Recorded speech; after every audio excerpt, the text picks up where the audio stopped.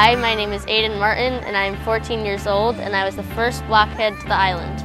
I used to do Optis racing, so I sailed for, I believe, five years on Optis.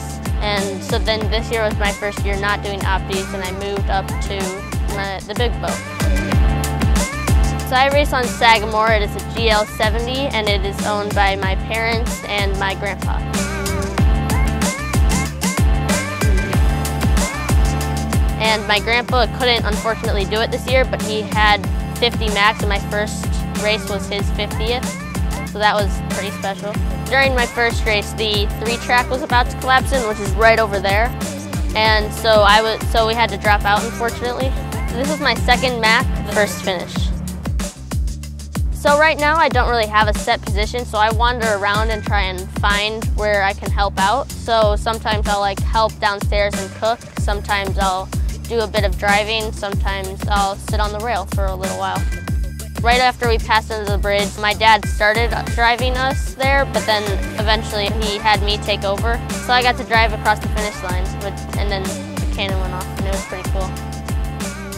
All right, let me get you a quick tour of the boat. So this is usually where I sat on the boat for when I was on the rail.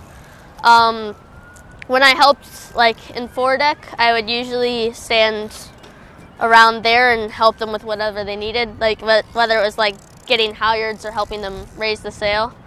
Um, so yeah, I would sit on this side and that side for when I was on the rail, and then for driving, uh, like over there by the wheel, probably like normal.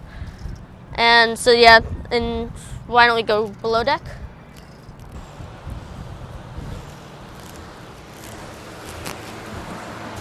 Cabinets with all the food is in it. We still have some food left over, like this. Yeah. And then fridge, this is where we boiled water so that way we can make coffee and food for dinner. Um, I slept right here. Uh, it's a little messy right now because my dad's using it. Um, there's life jackets up here in the front. And there's the wet locker right here where we keep our, our fall weather gear for when it gets rough. And then this is the head again for the bathroom.